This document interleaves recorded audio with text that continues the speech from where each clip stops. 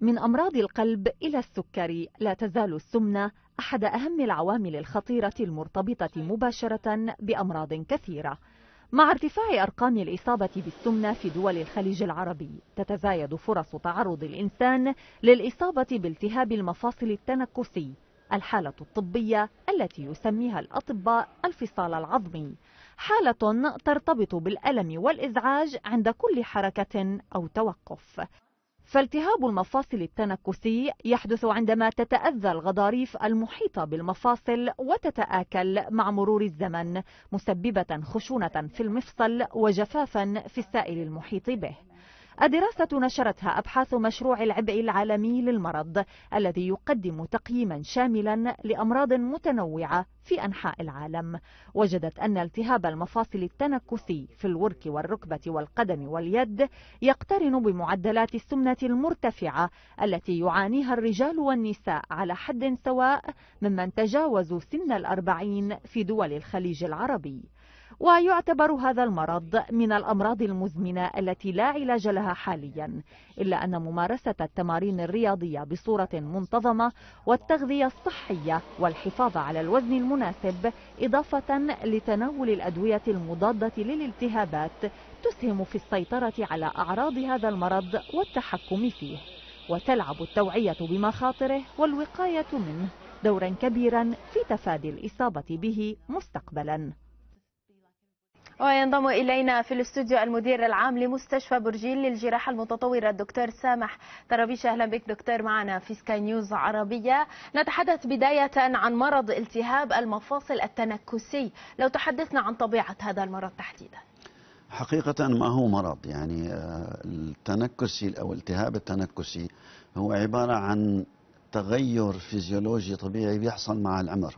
بعبارة ثانية مع الإنسان مع تقدم العمر الأنسجة تتغير في جسمه ويحصل نوع من التدهور.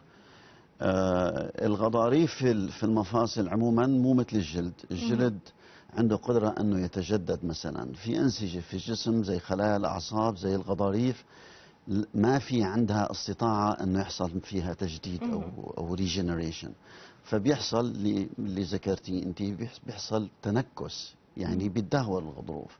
ففي واقع الأمر ما, ما يمكن اعتباره مرض هو عبارة عن تآكل وتدهور الغضروف في المفصل يعني ذلك يحصل فقط مع التقدم بالعمر. مع التقدم العمر.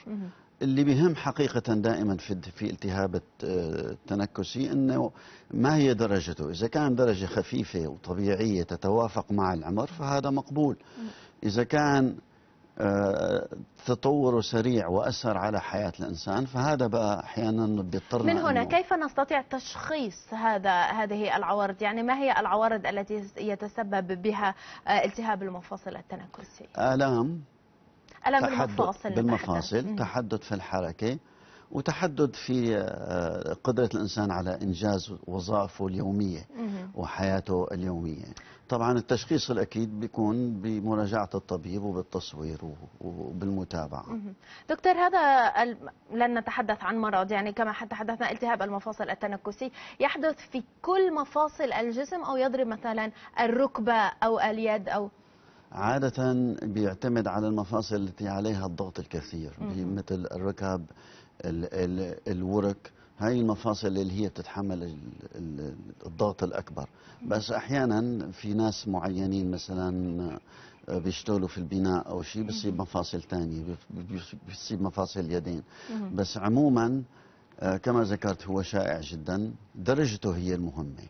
يعني إذا كان درجته خفيفة لا بأس إذا كان درجته آه، شديدة هون المشكلة. يعني بيقدروا إحصائيا أنه بالولايات المتحدة الأمريكية في عندك فوق ال 100 مليون زلمة معهم تنكسي. من هنا النقطة دكتور. يعني معناتها هذا أمر طبيعي آه. بس درجته اللي بتهمنا. نعم هنا نتحدث عن الرابط الذي تحدثنا عنه في التقرير بين السمنة والتهاب المفاصل التنكسي. يعني نعرف في الولايات المتحدة اليوم تحدثنا في العالم العربي عن ارتفاع معدل السمنة عند عند البشر عموما. يعني هنا ما الرابط الأساسي؟ لأنك تحدثت عن عن العبء أو زيادة الوزن عن هذه المناطق تسبب في هذا الالتهاب. صحيح. حتى حقيقة يعني الفكرة هي فكرة ميكانيكية فكرة استهلاك مثل ما حكيتي.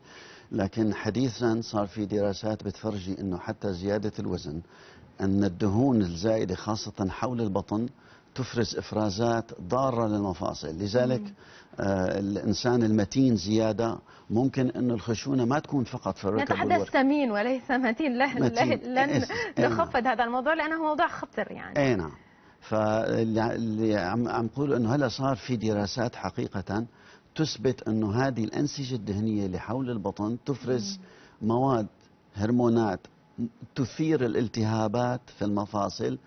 وبالتالي تدعو إلى إنه المفاصل هذه تتآكل مم. فبتلاقي مثلا حتى مفاصل اليدين ممكن تصيب بسبب هذه المواد حتى صار في دراسات كمان مفصلة أكثر بتحكي على شيء نحن بنسميها متلازمة استقلابية مم. المتلازمة الاستقلابية اللي هي آه ارتفاع الكوليسترول السكري هذه بيعتبروها متلازمة. هذه المتلازمة بيكتر معها الخشونة المتقدمة اللي تتطلب جراحة آه، أحيانا. نعم. بعبارة ثانية صار من الثابت إنه المرضى اللي عندهم مثلا كوليسترول وسكري إنه احتمال إنه حتى يتطور. إلى إلى advanced يعني نعم. مرحلة متطورة من الخشونة نعم. متقدمة من الخشونة طيب دكتور تحدثت عن أن هنالك معدلات أو آه، لهذا الالتهاب لديك هنا أمامك ربما هذا التوضيح يعني هو التوضيح بشكل رئيسي يعني حتى تكون واضح الصورة أنه أنت المفصل إذا الطبيعي إذا أن أن المفصل إيه، نعم. هكذا نعم آه، أن أن المفصل الطبيعي بيكون مغطى بغضاريف يعني أنت أي أي مفصل بتفتحي حدا مفصل خروف بتلاقي مغطى العظم بطبقة. نعم. هي الغضروف. آه، هي الطبقة هي اللي بتعمل مثل شوك أبزوربر. ما بتسمح للعظام إنه تحتك مع بعضها. مع تقدم العمر بيحصل تغيرات. يعني بيحصل تآكل فيها.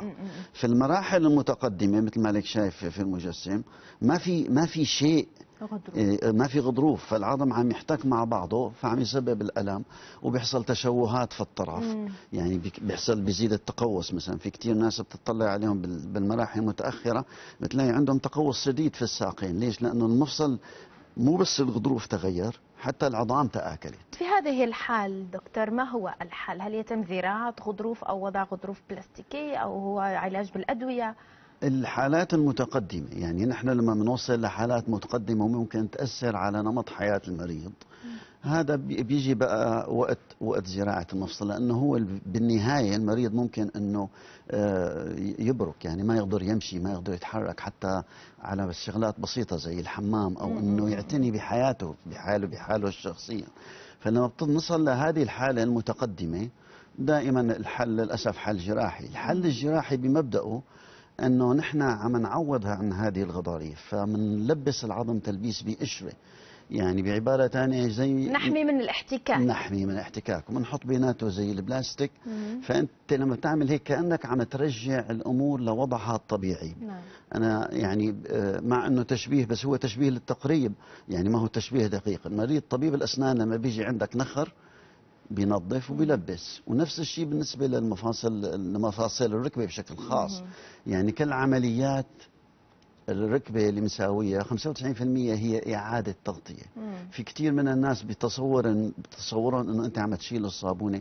نحن ما عم نشيل شيء عم نرجع الأمور لوضعها الطبيعي ما نسبة نجاح هذه العملية؟ عالية 98% مم. يعني هي حقيقة الهدف مثل ما ذكرتي أنت أنه إحنا نتجنب هذا الحد أنه نصلها بس هي كعملية إذا أجريت بشكل دق دقيق وبشكل مم. آه، فني آه نسبة نجاحها 98% نعم. يعني نحن سنويا بنجري فوق من 800 حالة مم. من المفاصل الصناعية بشكل سنوي وصار في عدد كبير. حقيقة حصل تطورات كثيرة في في جراحة المفاصل الصناعية في الركب. أنا بالنسبة لي كان أبرزها هي حقيقة أنه صار في دراسات خاصة بمرضانا بمرضى الشرق الأوسط. يعني أنت اليوم إذا طلعتي على الإنترنت وحطيتي كلمة الركبة الآسيوية بتلاقي أنه صار في دراسات تفرجي أنه شكل العظم حتى مختلف عند الآسيويين والشرق الأوسطيين حتى بتلاقي من ضمن هذه الدراسات دراسات نحن شاركنا فيها. نعم. فكان في البداية مواصفات المفاصل الصناعية حقيقة. مركزة على الإنسان الغربي. مم. لأنه اليوم تطورت لتتماشى مع الإنسان الشرقي أيضا. الآسيوي. والآسيوي تحديدا. يعني ب- باختصار لو سمحت كيف نتلافى التهاب المفاصل التنكسي؟ بشكل رئيسي الوزن. الموضوع الثاني إنه القضايا التروما العنيفة يعني إذا صار في عنده الإنسان إصابة المفروض إنه يراجع لأنه إذا حل المشكلة ممكن إنه تقلل من تآكل الغضاريف في المستقبل. آه، النظام الغذائي النظام الغذائي أهم شيء حقيقة ما في ما في غذاء في كثير دائما السؤال بنسأله. ما في غذاء بغذي الغضروف بشكل خاص. لا طبعا اتباع نظام غذائي صحي يعني صحي لعدم تماما. آه، اهم. شيء الحفاظ على الوزن يعني إنه ما يزيد الوزن. عفوا. شكرا لك. كنت معنا في الاستوديو المدير العام لمستشفى برجيل للجراحة المتطورة الدكتور سامح طرابيشي أهلا وسهلا.